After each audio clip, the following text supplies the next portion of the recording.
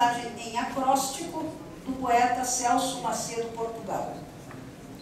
Luzente por natureza, urgindo alegria, irrigando sutileza, só amor e sintonia.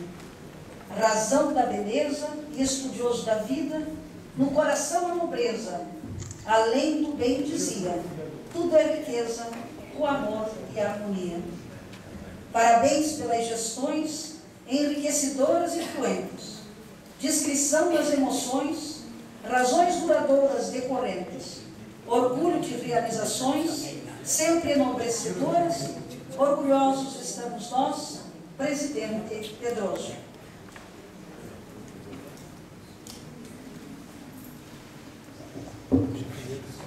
Oswaldo Brosa está presente? Parece que não.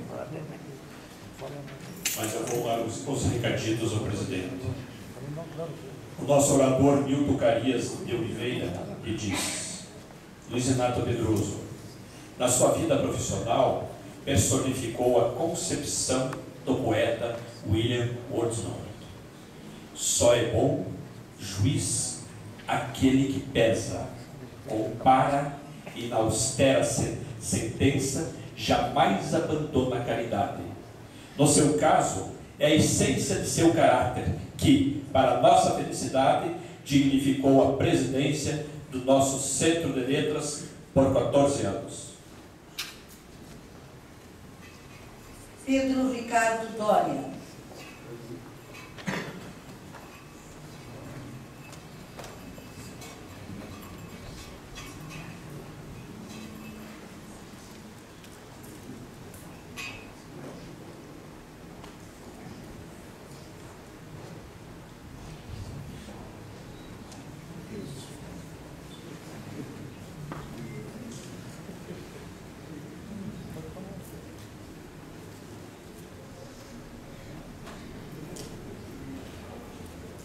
Formado em Direito e mestrado em Sociologia pela Universidade Federal do Paraná, pós-graduação em Ciência Política e também em Filosofia e Didática.